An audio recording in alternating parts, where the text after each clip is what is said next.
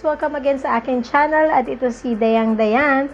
For today's video, isi-share ko sa inyo yung feedback ko sa isang sunscreen or sa isang brand ng sunblock na ginagamit ko. Currently, like for about 3 to 4, 3 to 6 months.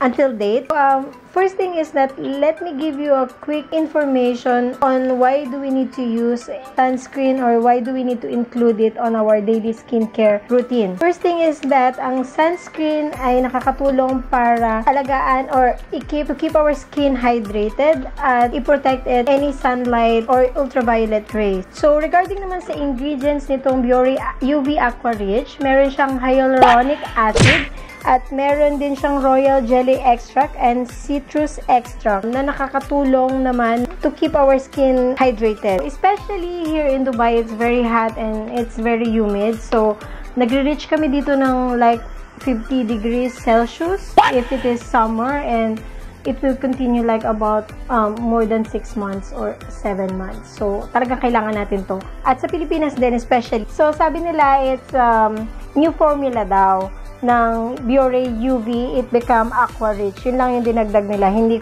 mm, I'm not so sure. But, uh, I really love this product. Wala tayong may intindihan doon sa likod. Pero, uh, nag-research na ako regarding this.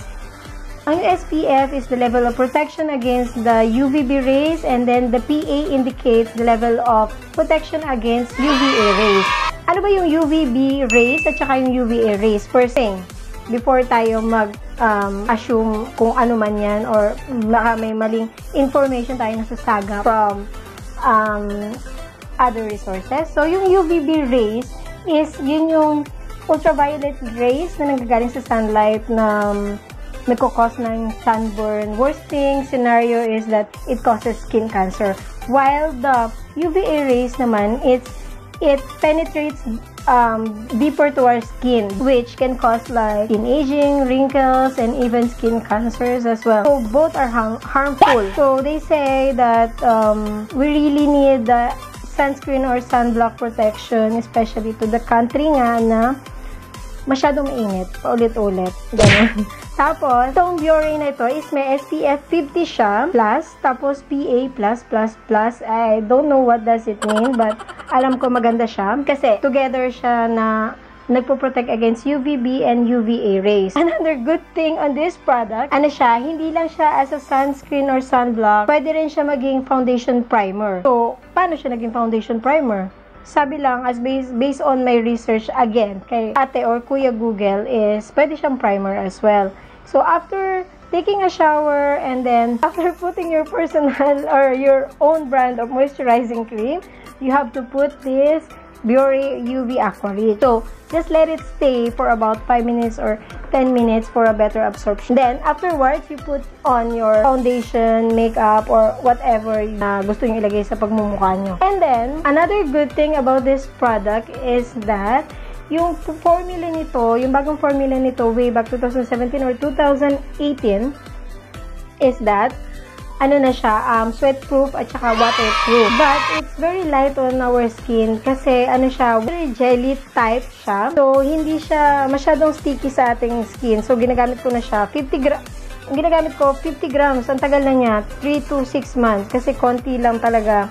So, very, um, I find it very effective and na-hydrate niya talaga yung skin ko even though it's very uh, humid in Dubai. So, in regards with the scent naman, napaka-citrusy naman ng scent niya. So, ito yan siya. Ito yung color niya. May kakulay. Tapos, ayan. Mabilis siyang mag-dry. Mabilis ba? Para siya nagpupunas ka lang ng ano, tubig. Pero, meron siyang texture na parang lotion, alam mo yun, na basta hindi siya malagkit, hindi siya malagkit sa balat. Yun ang masasabi ko sa kanya. So, ang ganda, ang ganda talaga niya sa balat at hindi ako nagkaka-sunburn kahit ano pang init nito dito sa Dubai. So, yun na nga, SPF 50 siya at may PA level ng times 4. Ganon. Tapos, 50 grams siya. And then, um, another, another information is that yun daw, based sa um, Google, na yung mga sunscreen na may SPF, SPF 30, it blocks UVB rays like about 97%. At yung meron naman SPF 50 is about 98%. At yung may SPF 100, meron ba nun? SPF 100, it blocks about 99% against UVB rays. So, that's it for today. I hope that um, nakatulong to information ko sa inyo regarding the Biore UV Aqua Rich. So, ayan. Ayan po siya. Ayan yung packaging niya. May old packaging siya dati but ito na yung pinaka-current packaging niya. But wait!